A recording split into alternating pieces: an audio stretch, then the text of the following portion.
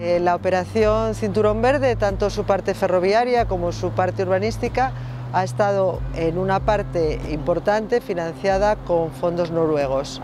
Eh, los proyectos financiados eh, por estos fondos fundamentalmente han sido la estación conjunta Renfe y FEBE y una parte de su cubierta, la variante ferroviaria exterior a la ciudad y la prolongación de la salida por una vía, por una calle de cuatro carriles en el sentido este hacia Coyoto. De manera que se benefician los barrios de la zona norte de Oviedo por un acceso mucho más fácil y mucho más fluido al centro de la ciudad.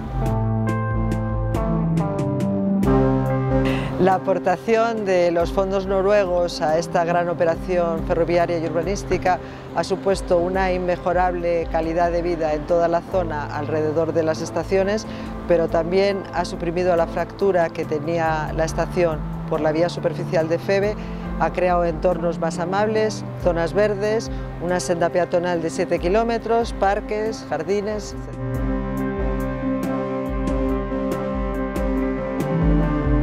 Es evidente que de toda la obra de Cinturón Verde y por supuesto de toda la obra financiada por los fondos noruegos,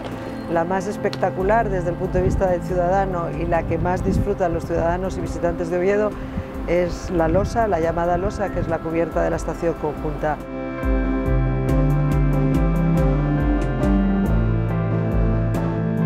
Los fondos noruegos invertidos en la ciudad de Oviedo han supuesto un cambio conceptual de la ciudad de Oviedo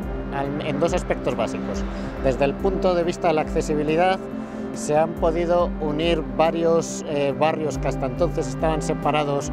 por el cinturón ferroviario, conectándolos todos ellos con el centro de la ciudad, facilitando el, acceso peatonal eh, de estas zonas más periféricas.